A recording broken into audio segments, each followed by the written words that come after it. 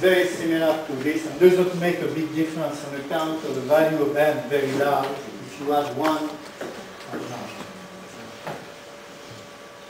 So this is an example uh, in APL of the L'Écuyer combined generator just to show you that to generate 200,000 it took me just three seconds. So you have here the, the mean, 0.5, variance 0.08 is 1 over 12, standard deviation maximum minimum. And it's not, it's not terribly complicated, it's just a couple of, of instructions. But again, you can download it directly from his website. So in conclusion, what you have to do, first, be careful in using random number generation. Don't do it blindly. Poor and plain bad generators are still popular. And you have to pressure vendors to change that. For instance, pressure uh, NAG or, uh, for instance, MATLAB and uh, identify which one you use and its main characteristic, seed and period. And it's not so easy. I'll give you an example. I was unable to know exactly what Winbugs is using as random number generator.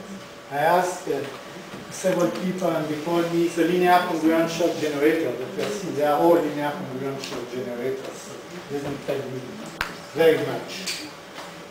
You have seen several methods, large K-state, vector, Diamond Su, combined generator, the one of L'Écuyer. And there is another one I did not talk about, is modulo 2, is the so-called Mersenne twister by Matsumoto and Nishimura. And this is also a very good one. The problem is to be careful with the seed. This is in fact the one by default in ARM, as far as I know.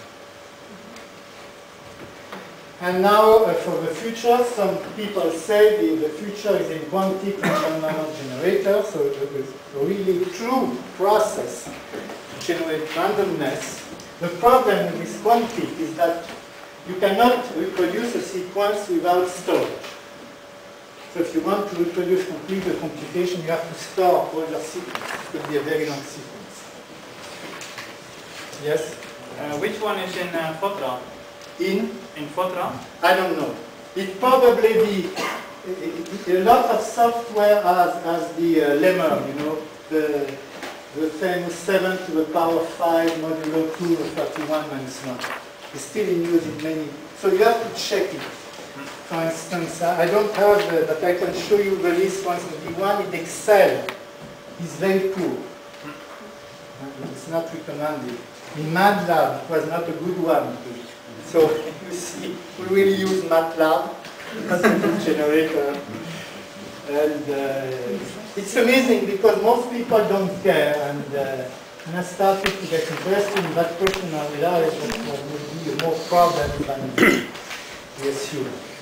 So this, the end, a kind of uh, textbooks about that, the create, and also here the website you can download Deng, L'Écuyer and uh, Matsumoto about Mersenne twister. If you go to this site, have a short note of the MRG with the FPL program.